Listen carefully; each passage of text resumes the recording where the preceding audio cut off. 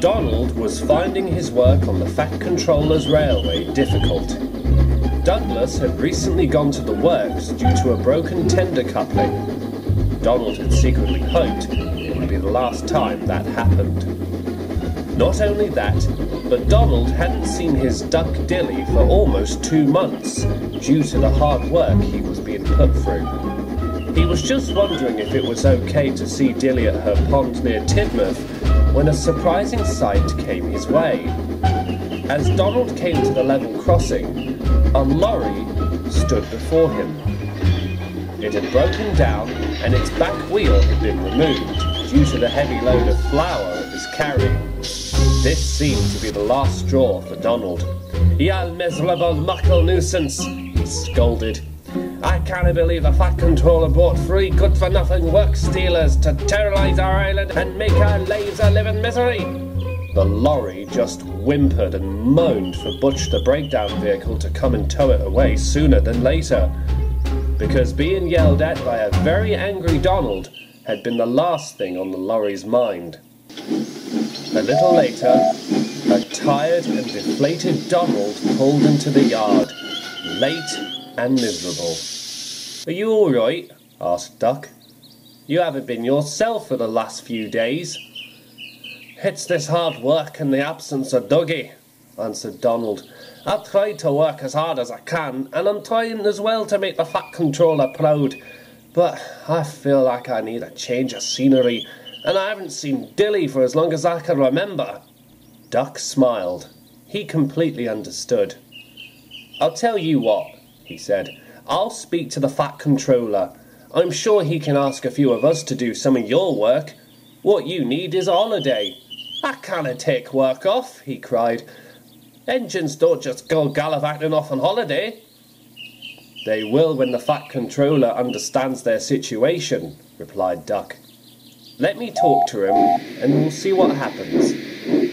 Donald wasn't sure if the Fat Controller would let him have time off, as he took his trucks away to the chute. A few weeks later, the Fat Controller had some good news. Edward, Oliver, BoCo, and Duck had offered their services to do Donald's work while he was allowed to go to the fishing village of Norramby.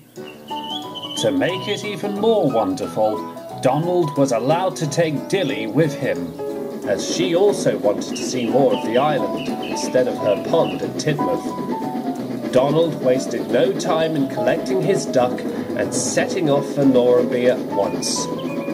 This is a nice change, Donald smiled as the harbour came into view.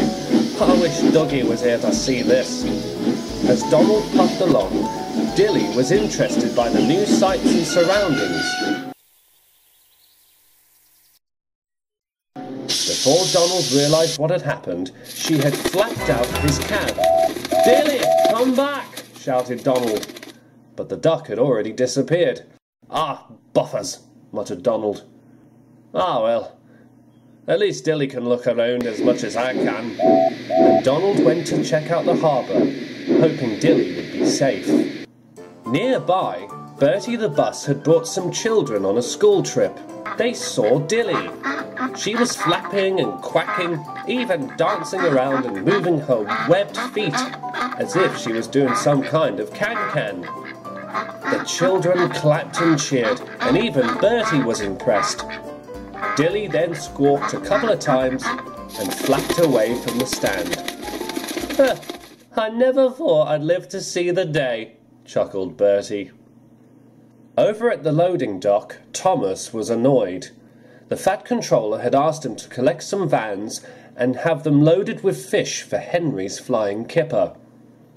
I wish someone else was doing this job instead of me, grumbled Thomas. It's just not fair. The Fat Controller knows I don't like fish. Thomas's thoughts were then interrupted by the sound of fluttering. His driver heard it too, and when he walked round to the front of Thomas, there, quacking with delight, was Dilly. Thomas was surprised. Hello there, he said. I thought you would be with Donald today. Dilly squawked a reply. Well, I hope you find him, said Thomas. I just saw him pass here a couple of moments ago. Dilly was delighted. She quacked her goodbyes and fluttered off to find Donald. If only she'd looked back when she heard the sound of a crate dropping on Thomas and hear him exclaim, Phew! What a pong! Dilly was delighted when she found Donald near the boats at the harbour. There you are, my little quackaroo, Donald beamed. I've been looking all over for you. Dilly flapped up to Donald and rested in the coal in his tender. And great news, Donald beamed. I just heard that Dougie's almost out of the works. Shall we go and see him? Dilly squawked a happy reply. Come on then, chuckled Donald, and they set off to the workstation. As Donald puffed along with Dilly in his tender, he felt much better. Young Duck was right, Donald said to himself.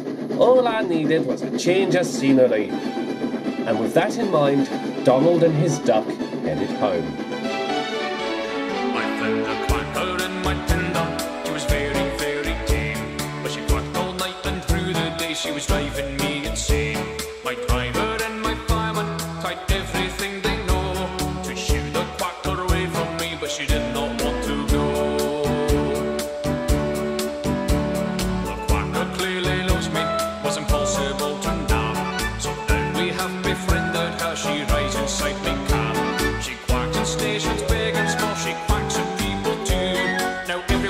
her duck, but I call him a quackaroo.